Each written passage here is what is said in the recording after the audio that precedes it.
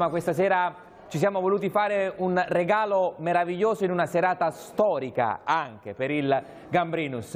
È per me un grandissimo onore e piego il capo davanti all'ingegnere Corrado Ferlaino. Buonasera ingegnere, grazie Buonasera, per essere con buonasera. noi. Ingegnere Ferlaino, è chiaro che lei ha vissuto da grandissimo protagonista, da fautore, i primi due scudetti della storia del Napoli. Com'è stato viverlo da tifoso, questo scudetto? È stato come lo vivono tutti i tifosi, Ehm,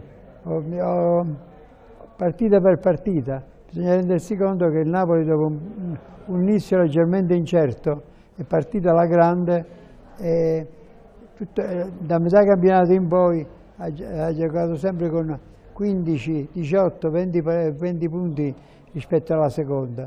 Quindi è stata una marcia trionfale del Napoli e quindi tutti noi nei tifosi napoletani eh, ne, siamo grati ai giocatori, a Spalletti, a Giunti a chi ha fatto questa squadra eh, e al Presidente. Ma oggi De Laurentiis è diventato il suo erede, Presidente?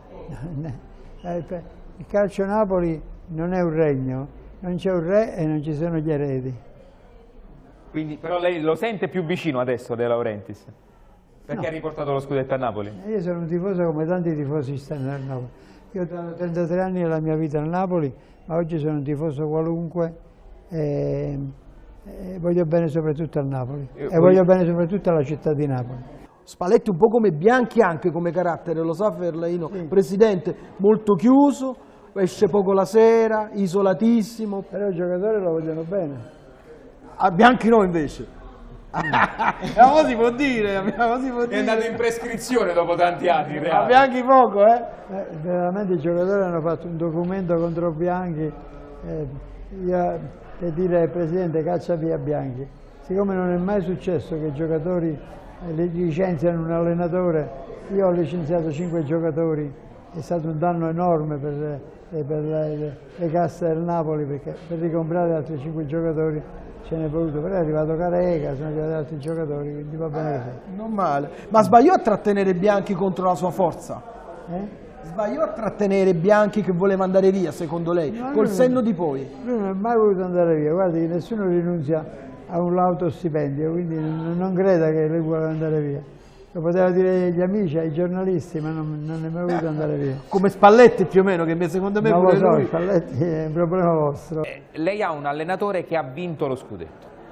Che fa? Dice, vabbè, questo è il contratto, lo rispetti, punto e basta, o lo chiama, vieni qua, tu hai vinto lo scudetto, io adesso ti faccio un contratto di due, tre anni, ti adeguo lo stipendio. Che, che cosa fa l'ingegnere Ferlaino? No, io ho un carattere, della Laurentiis ne ha un altro, quindi quello che fa Corrado Ferlaino non è detto che debba fare De Laurentiis. De Laurentiis è un altro, con- è un altro carattere. Comunque è un bel duello fra De Laurentiis e Spalletti, non so chi vincerà. Non lo so questo, non lo so. Eh, non lo so, ma vorrei che il Napoli non, avesse, no- non ne avesse dei problemi da questo, da- da questo duello. Potrebbero nascere? Non lo so questo qui, però nascono sempre quando ci sta, non c'è grande armonia in una società di calcio. Taormini. lei, Presidente, ha fatto dei sacrifici enormi per mantenere Maradona a Napoli, eh, quindi... Maradona non era l'allenatore però, è un'altra cosa. eh, però eh, Eh? insomma è stato importante anche questo. Anche... Maradona era un grande professionista. A un certo punto il suo entourage voleva farlo andare a Marsiglia e in altre parti, dove avrebbe guadagnato anche di più. Però lui aveva il contratto, io l'ho chiamato e ha detto rispetto il contratto e resto qui. E dopo tutto era anche innamorato di Napoli. Sì, sì. E Napoli gli è, gli è grato fino al punto che, che lo adora ancora. Eh beh, direi di sì, direi che c'è Io ho una visto... devozione. Ma Presidente, le volevo fare una domanda una curiosità, una battuta questa. Ma io ho visto più maglie e buitoni. Ma come funziona? Lei può chiedere i diritti eh, a, a buitoni? Insomma, buitoni è una pubblicità. Dopo 30 anni è una pubblicità buitoni. Sono più buitoni che quelle di adesso, sì, è vero, sì, l'ho notato anch'io. Buitoni è una pubblicità gratis quasi. Dovrebbero pagare, fare delle rimesse al Napoli. Dovrebbero. Presidente, ma il Marsiglia ve la fece l'offerta economica? Come no? Quanto le offrì per Maradona? Mi mandò un assegno, mi voleva mandare un assegno firmato in bianco, dove metterci io la cifra. Più di questo. E lei ce l'ha eh, messa la cifra? Non ci pensavo, poi l'assegno. Amo Napoli. eh, abito- ho sempre abitato a Napoli, quando sono andato fuori per un anno, due anni, poi dopo è venuta la, la saudade, la nostalgia, sono ritornato di corsa a Napoli. De Laurentiis vive a Roma, può fare- non sente quella spinta dei tifosi napoletani, quindi, quindi- quindi può decidere con maggiore sicurezza e con maggiore... eh, eh, Posso fare una domanda al Presidente Marco? Prego, Mi consenti? una domanda al Presidente. Posso prima... Allora, prima lei, professore. Prego, prego, professore. Perché mi colpì molto quando il Presidente eh, raccontava un po' la storia della sua esperienza a Napoli, usò una frase. Per me, eh, insomma, essere il Presidente del Napoli e quindi stare per 33 anni è come aver cavalcato una tigre per 33 anni. Lei usò questa parola, eh, Presidente, Chi no? in un'intervista. Ma chi, io? Lei, Sì, beh certo. cavalcare una tigre. Ma io, io ho avuto un aereo con gli striscioni, ho avuto le bombe sotto casa, ho vinto due, ho vinto due scudetti, una Coppa UEFA, una Coppa Italia, scudetti? due, sc- due scudetti, Coppa UEFA, Coppa Italia. Eh, ecco, eh, più di questo non più poteva vincere. lo- eh. Sono stati più belli gli scudetti o la Coppa UEFA il titolo europeo? Tutto Eh. Sono arrivati insieme. Quella è una vittoria dopo l'altra, è vero Presidente? Sì, certo. A un certo punto sulla maglia del Napoli non c'era più spazio. Coppa- C'era la, la la- Coppa UEFA e la Coppa Coppa, Italia. Coppa- e- e Coppa la UEFA. Coppa dei campioni di oggi. Vero, eh, quindi, vero. Quindi più di quello. Più di quello. Pi- Pino, vai. Due cose. La prima, quando vinse lo scudetto del 90, immaginava che ci sarebbero dovuti passare altri 33 anni per vincerne un altro. Il primo scudo, no, il secondo. Il secondo, il secondo, quello del 90. Quando io, io ho detto a me stesso, siccome io non penso che ci sia la professione di, di Presidente del Napoli, il Presidente del Napoli è un amore, qualche cosa, ma io sono ingegnere, lavoro e, e non, faccio di professione, non facevo di professione del Presidente del Napoli, quindi io prima o dopo me ne dovevo andare e ho giurato che dopo il primo scudetto me ne sarei andato, poi c'era la Coppa, c'era la, la Coppa di la Champions, eccetera, sono rimasto, ma quando ho vinto il secondo scudetto, io per me era finito. Quindi arrivato a quel punto, però non c'era nessuno che voleva comprare il Napoli allora.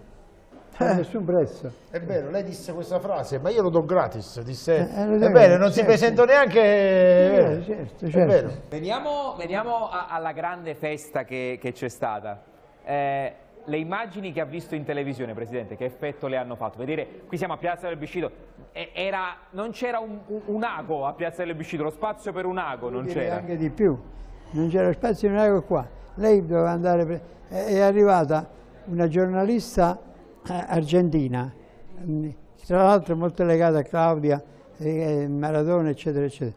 E, eh, lei io l'ho portato a vedere il- il- il piazza, eh, i quartieri, i quartieri Sì. spagnoli. Lei deve vedere là cosa ci stava.